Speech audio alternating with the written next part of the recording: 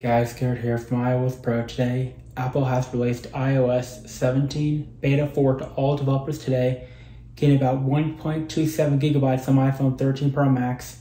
On my 14 Pro Max, I installed it. The build number is 21A5291H, and there are quite a few changes, like on the lock screen area and other areas like that.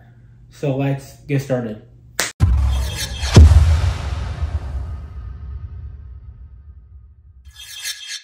Right guys, so on the lock screen, when you press in to customize the lock screen, you guys can now see, instead of having four options for photo filters, we now have 10.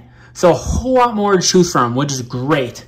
So we have a lot more options to make the lock screen look nicer with filters. So in settings, you'll notice that the icon for home screen App Library has now changed. It now shows the picture of an actual library and home screen icon now. So in settings, when you go to standby, you'll now notice there's a new option called Show Preview on Tap Only. It basically says, Standby can hide a preview of a notification until you tap on it. So in settings, when you go to Control Center, you'll notice that the Apple TV remote icon has now been changed.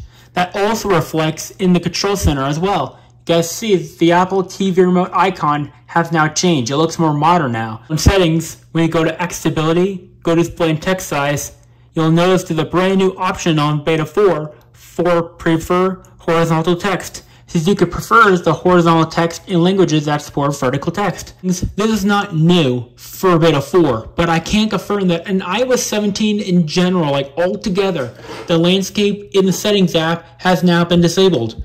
Apple's now disabling certain apps for landscape. They're only allowing it for a certain app like Notes, Mail, and Messages, and other apps like that. Alright guys, so in the Maps app, and by the way, this is not my current location. This is just an example one.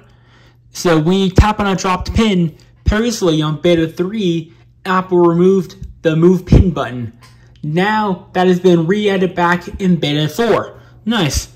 Alright, so that is basically it for this video. So this beta was a lot of under the hood changes that were very hard to spot.